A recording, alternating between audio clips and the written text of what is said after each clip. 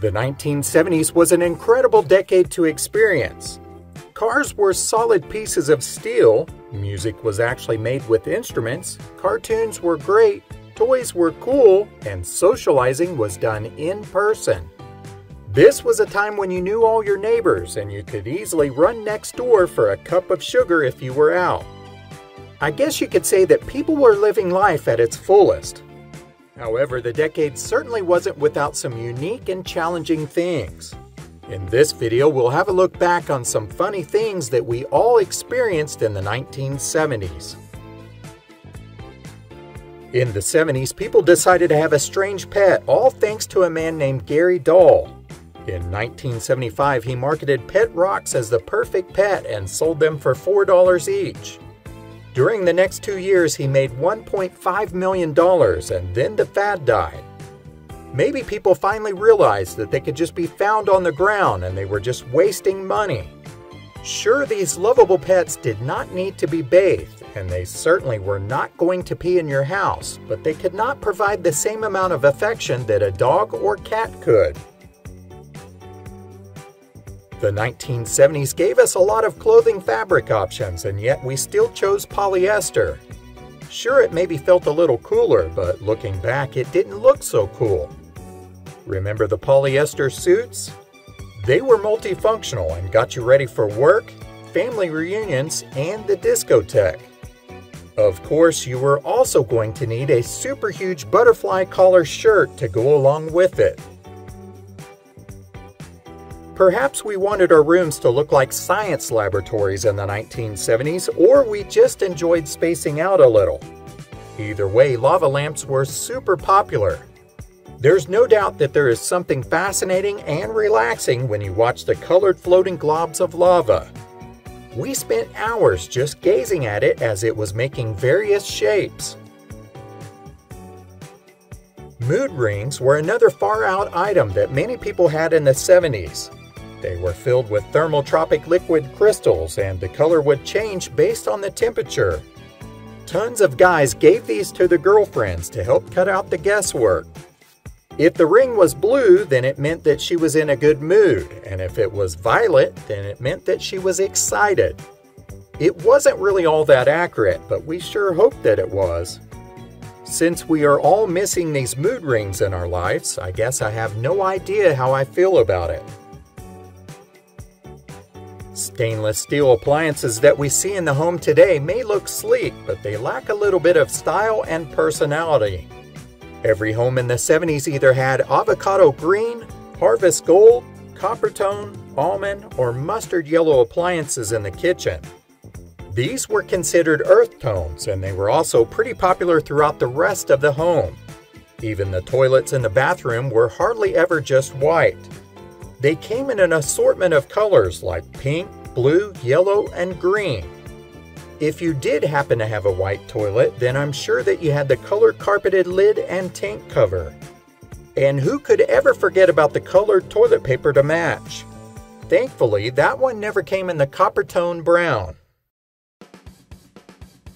Shag carpets in the 70s were something that most people wanted, and really these were probably the very definition of luxury. They were super plush to lay on, and you could even make shag angels in them. The downside of these shag carpets was how difficult they were to maintain and keep clean. We were constantly raking and vacuuming this carpet just to keep it looking good. Never mind the fact that something like an earring could be lost in it forever. After a while, this carpet became a pain in the butt, especially when some gum or some cigarette burns found their way in it. Macrame was everywhere in the 70s home. A lot of women learned how to make hanging plant holders, pillow covers, drink coasters, and of course the ever popular owl that everyone seemed to have in their living room. These handcrafted works of art can now be found in many antique stores, although I'm not quite sure if anyone is buying them. At some point, I'm sure that this will come back around, but so far I haven't seen anyone with it. The first episode of Saturday Night Live premiered on October 11, 1975, and it quickly became popular.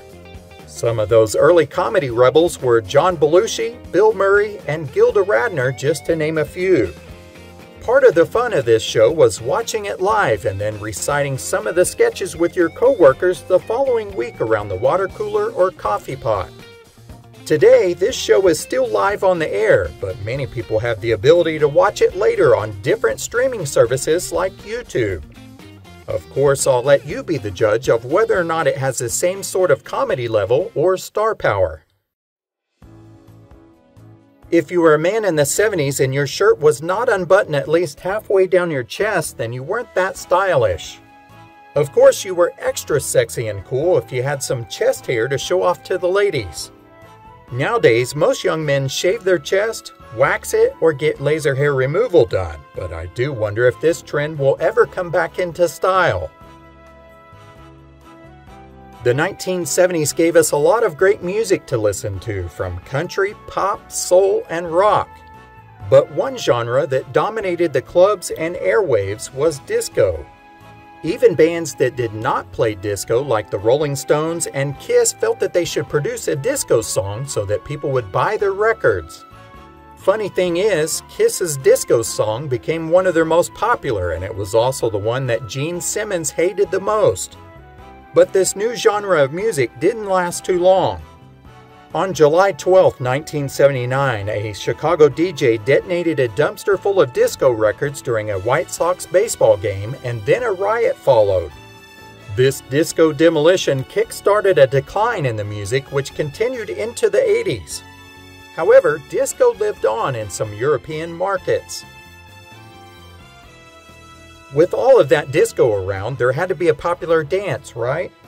Well, the bump was an iconic dance which involved smashing your hips into your partners while rhythmically twisting from one side to the other. People practiced this until their hips were bruised. The hustle was another popular disco dance, but no bruising was involved. On December 23, 1975, U.S. President Gerald Ford signed the Metric Conversion Act, which officially declared the metric system to be the new preferred system of measurement. However, most of the U.S. declined to implement it. Now we are forever stuck converting miles into kilometers. In 1973, tennis had a match that came to be known as the Battle of the Sexes. A lot of people tuned in to see who was the best, men or women. In the end, it was a 29 year old woman named Billie Jean King who beat out the 59 year old man Bobby Riggs. In 1977, Jim Fixx wrote the best selling book, The Complete Book of Running. His goal was to explain the benefits of running and to show how it could solve all your health problems, which was the key to longevity. Ironically, Jim died of a heart attack at the age of 52 in the early 80s. But he did succeed in opening up a nationwide conversation about running, health, and life expectancy. Remember the Pinto in the 1970s? It certainly was not the best looking car that Ford ever produced, however, its looks were not the worst part. If it got rear ended in the right spot, it could instantly burst into flames, and that was a real problem. There were 27 Pinto related deaths, but people bought them anyways. I guess you could say that they were a hot item. The oil shortages of the 1970s hit people pretty hard at times. And to make matters even worse, most of the vehicles people had were gas guzzling cars. The gas stations had to ration fuel, and lines to fill up were all the way down the road, and people had to wait in line forever, it seemed. Some stations posted color coded flags outside. Green indicated that they still had gas, while red alerted customers that they were completely out. Others posted signs saying that they were out or how much gas you could actually get. It was not a pleasant time. Kids today have a whole plethora of ways to entertain themselves while in the car on road trips. But in the 70s, kids had to find ways of entertaining themselves by playing car or road games or just staring out the window of the back seat. Usually, parents could only stand them singing or pestering their siblings for so long. If they kept acting up, then they might hear, Don't make me stop this car, or Do you want me to turn this car around?